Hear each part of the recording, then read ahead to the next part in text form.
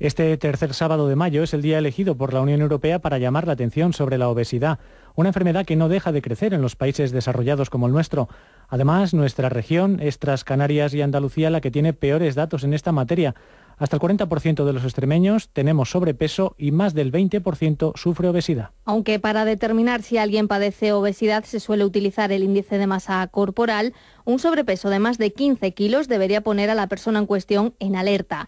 Los especialistas aconsejan tomarse en serio el problema del exceso de peso antes de que se desencadene algún problema de salud como hipertensión, colesterol alto o incluso un infarto. Y una vez que se toma conciencia del problema, acudir a una especialista para evitar errores muy comunes. Rubén Bravo es especialista en nutrición del Instituto Médico Europeo de la Obesidad por ejemplo, es eliminar totalmente los hidratos de carbono, el tomar muchas proteínas, es algo que, cada vez estamos viendo más, el eliminar las grasas es uno de los grandes problemas.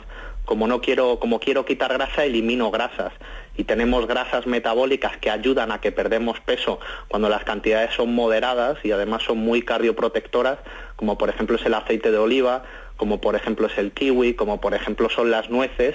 Errores que también se producen al hacer actividad física para reducir esos kilos de más. Es muy habitual encontrarse hombres con el vientre abultado porque tienen grasa visceral y hacen abdominales para reducirlo. En este caso no solamente no van a conseguir eh, eh, un gran resultado, sino que además sería eh, contradictorio totalmente, sería perjudicial para su salud porque hay riesgo de hernia diato y de tener problemas más importantes de salud.